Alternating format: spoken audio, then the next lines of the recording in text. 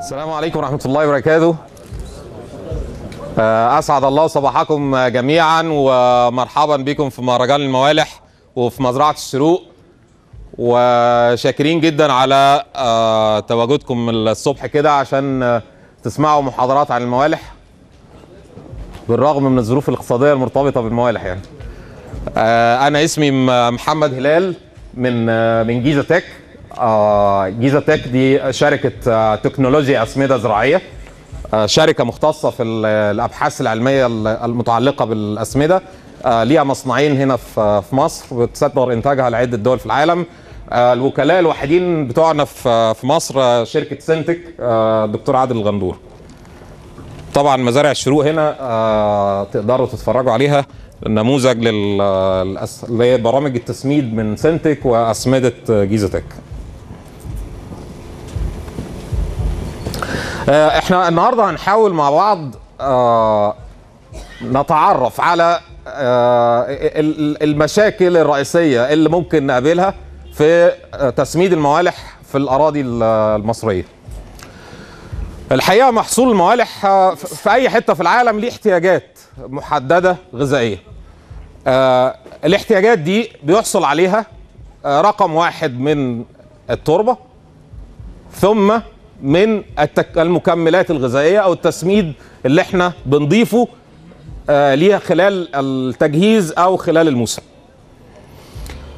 محتاجين نتعرف في المحاضرة دي سريعا إيه احتياجات الموالح وإزاي نختار الأسمدة اللي هتدي كفاءة عالية في الأراضي المصرية إحنا هنا في الخريطة دي بنحاول نوضح ال- الأنواع الرئيسية من الأراضي اللي موجودة في مصر الأراضي في مصر عامة كلها بنعتبرها في نطاق الأراضي المتأثرة بالأملاح يعني صلاحية الأسمدة في أي حتة هتكون في نطاق ارتفاع درجة القلوية وممكن كمان ارتفاع نسبة الأملاح اللي بتأثر على صلاحية معظم العناصر وكفاءة معظم الأسمدة.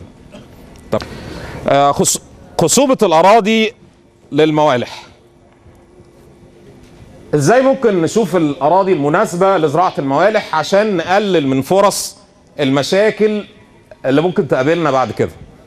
وإذا كان أصلا النبات يقدر ينفع فيه يقدر يطلع فيها في محددات معينة أنا هحاول أختصر لأن أنا في وقت كبير اتاخد فهحاول أختصر عشان المحاضرات اللي جاية بعدينا إن شاء الله ال- ال- المحددات دي متعلقة في منها بمية الري وجودة مية الري زي نسبة البورون الليثيوم نسبة الكربونات والبيكربونات والمنجنيز الخصوبة الفيزيائية للتربة عمق التربة البناء الأرضي ال- الحقيقة الموالح بتنجح في range كبير من من الأراضي من الأراضي ال- ال- القلوية بتتحمل من أراضي طينية لأراضي رملية. آه كمان البناء الأرضي إذا كان فيه تهوية الحقيقة الموالح آه بتحتاج نسبة عالية من الأكسجين في الجذور وما حصلش كده بيبقى فيه تصمغات وأعفان في الجذر.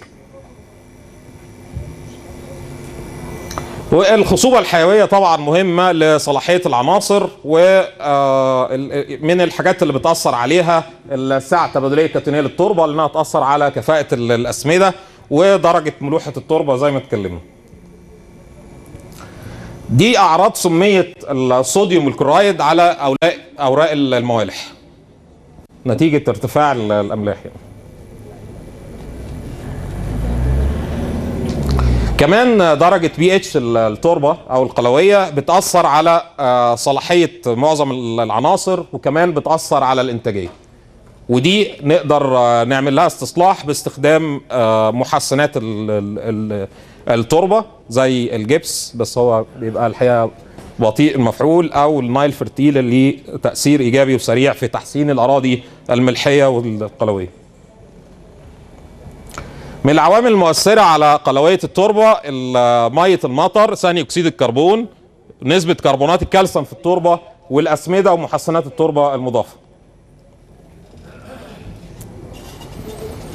من التوجه آه، بتاعنا دايما إن إحنا بنحاول الهدف الرئيسي من الزراعة هو الحصول على غذاء صحي للإنسان. وفي نفس الوقت أثناء ما إحنا بنعمل العملية الزراعية لازم نحافظ على البيئة اللي عندنا عشان استمرارية صلاحيتها للإنتاج الزراعي وعشان تنفع للأجيال اللي بعدينا. مش إحنا نطلع إنتاج عالي وبعدين يبقى مفيش فرصة للأجيال اللي بعدينا. التسميد الغرض منه رفع الخصوبة الحيوية والكيميائية والفيزيائية.